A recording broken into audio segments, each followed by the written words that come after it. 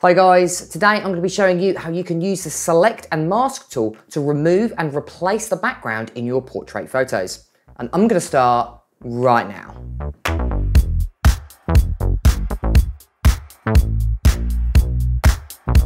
Right guys, so the first thing you want to do is just go ahead and choose a photo. And today I've chosen two photos. Firstly, I've chosen a photo of the model, which we're going to be cutting out using the select and mask tool. And then I'm going to go ahead and place that model onto this background here.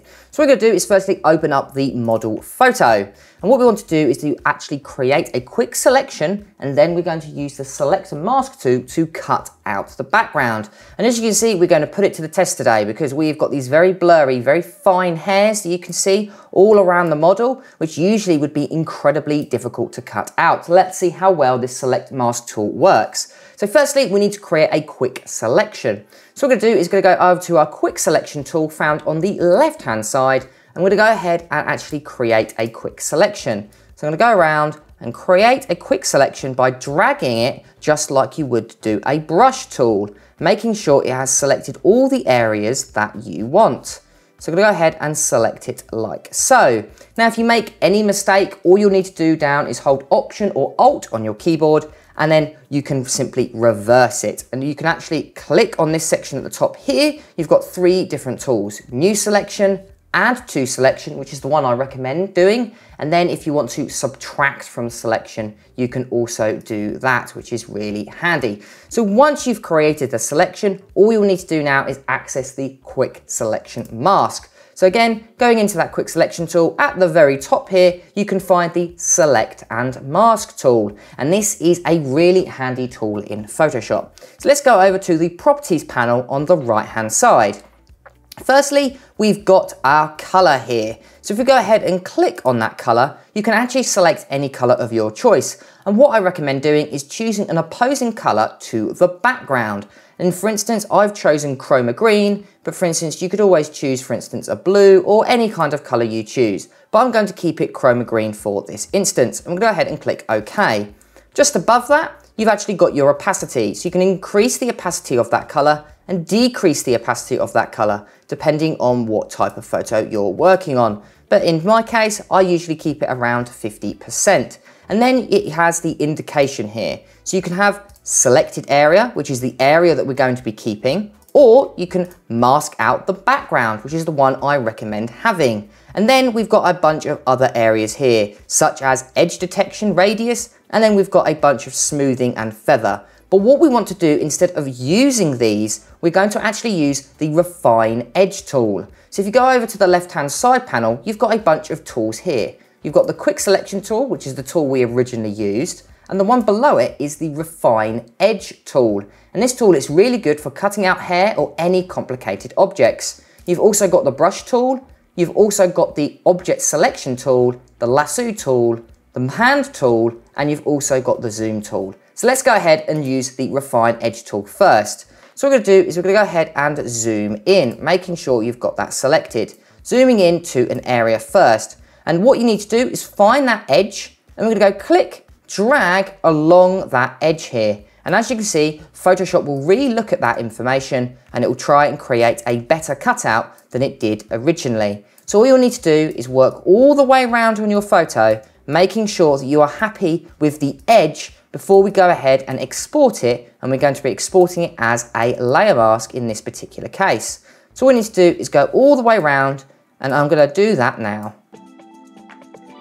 Now, if you want to change the size of the brush, you can do as well, but it just depends on what size of the area that you're wanting to cut out. So for instance, we've got this larger area here. I'm actually going to increase the size of my brush so it easily cuts out the hair in the background. So we can really split it away, split the model away from that background that we're going to be removing in this in case.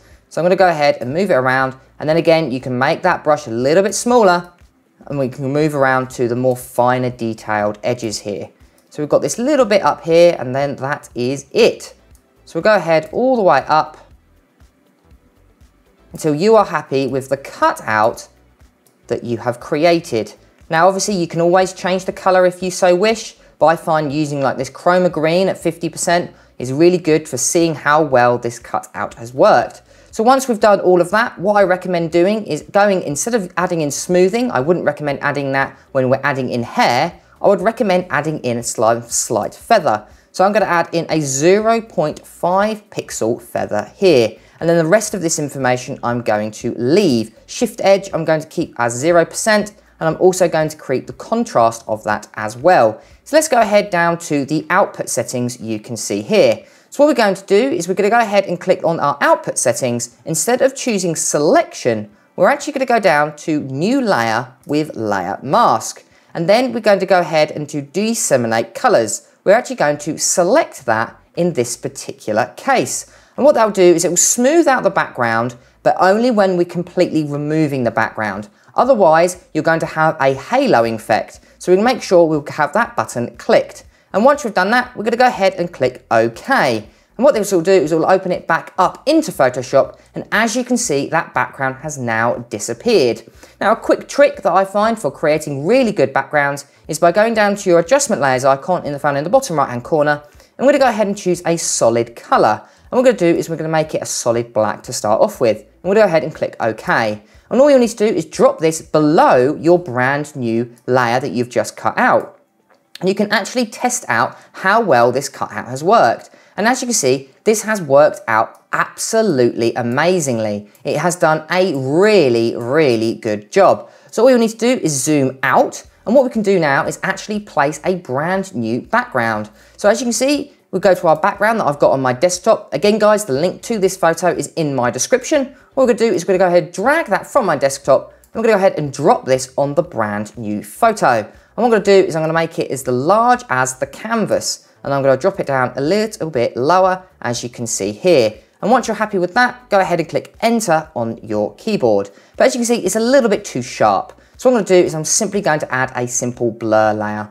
So I'm going to go up to filter, I'm going to go down to blur, and then I'm going to go to Gaussian blur. And I'm going to blur this layer around about thick 15 pixels. And then I'm to go ahead and click OK. So as you can see, we have now created a totally new background. And I must say, it looks so realistic and really, really good. I am so happy with the results.